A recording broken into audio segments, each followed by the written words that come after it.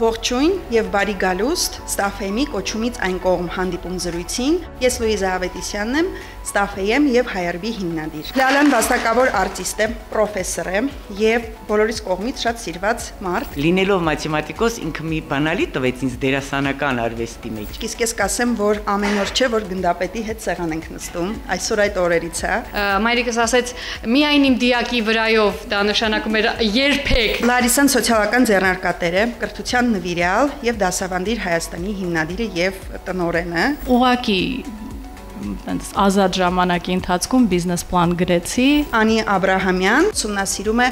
արհեստական բանականությունը վարքագծային տեսանկյունից։ Ես շատ հետաքրքրված էի այն ժամանակ արհեստական բանականությամբ, ինչի, որովհետև ես ուզում էի ստեղծել իմ համար ընկերներ,